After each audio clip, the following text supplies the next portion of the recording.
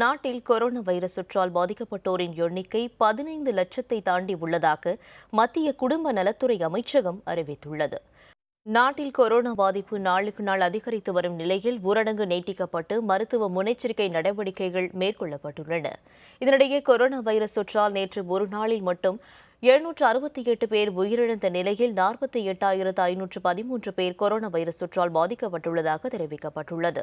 Corona virus தொற்றால் பாதிக்கப்பட்டோரின் எண்ணிக்கை மொத்தமாக பதினைந்து லட்சத்து முப்பத்தோராயிரத்து அறுநூற்று அறுபத்து ஒன்பதாக அதிகரித்துள்ள நிலையில் உயிரிழந்தோரின் எண்ணிக்கை முப்பத்து நான்காயிரத்து நூற்று தொன்னூற்று மூன்றாக அதிகரித்துள்ளது. முப்பத்து மூன்றாயிரத்துக்கும் அதிகமானோர் தொடர் கண்காணிப்பில் வைக்கப்பட்டுள்ள நிலையில் கொரோனா வைரஸ் தொற்றில் இருந்து குணமடைந்து வீடு திரும்பியோரின் எண்ணிக்கை ஒன்பது லட்சத்து எண்பத்தி எட்டாயிரத்து இருபத்தி ஒன்பதாக உள்ளது. உள்ளது. நாட்டில் அதிகபட்சமாக மராட்டியத்தில் மூன்று லட்சத்து எழுபத்தி ஏழாயிரத்து இருநூற்று எழுபத்தைந்து பேருக்கு கொரோனா பாதிப்பு உறுதி செய்யப்பட்டுள்ளது. தமிழகத்தில் இரண்டு லட்சத்து இருபத்தி ஏழாயிரத்து அறுநூற்று எண்பத்தி எட்டு பேருக்கு கொரோனா உறுதி செய்யப்பட்டுள்ளது.